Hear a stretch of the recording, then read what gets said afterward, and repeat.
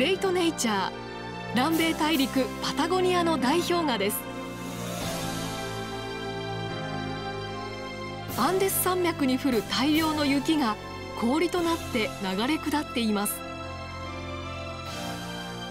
代表画の懐には氷が青く輝く絶景が待っています。やってきたのはペリトモレの氷河です。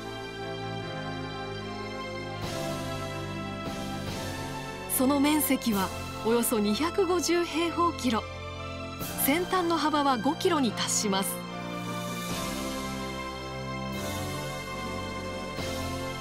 これほどの巨体を誇りながら1年でおよそ600メートルも流れ下っています。おおでかいあれでかい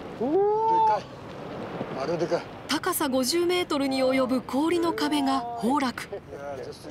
氷が躍動の証です。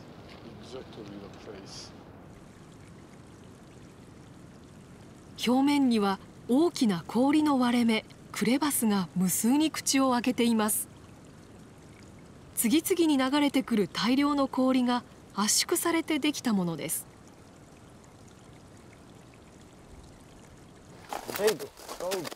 パタゴニア氷河に足を踏み入れます。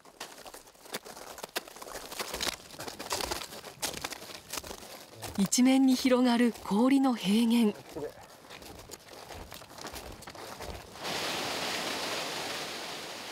突然大量の水が流れ落ちる滝のような場所が姿を現しました。ムーランと呼ばれる縦穴です。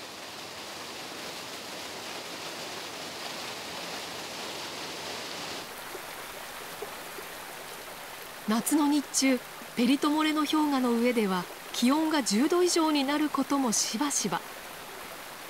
溶け出した水は川となって氷河の中へと流れ込みます。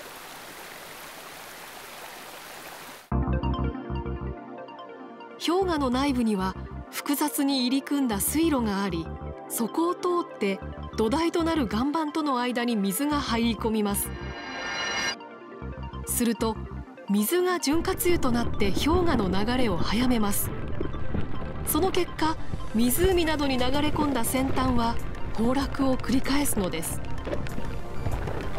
ペリトモレの氷河が激しく流動し続けているのはこうした仕組みによるものと考えられています。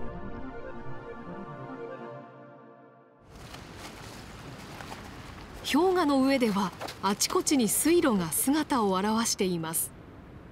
その奥には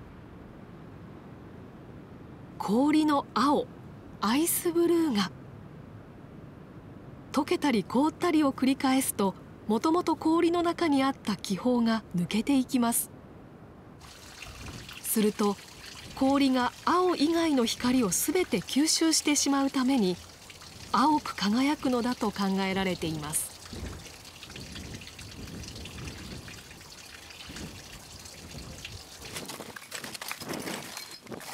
アイスブルーがひときわ強く輝く特別な瞬間があります。頂の向こうに待っていたのは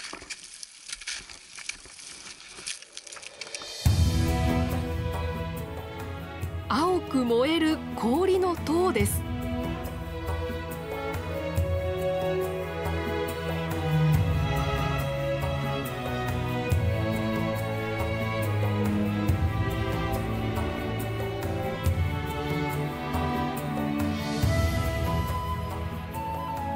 これは太陽の光が氷の背後から強く差し込んだ時にだけ見られる現象です。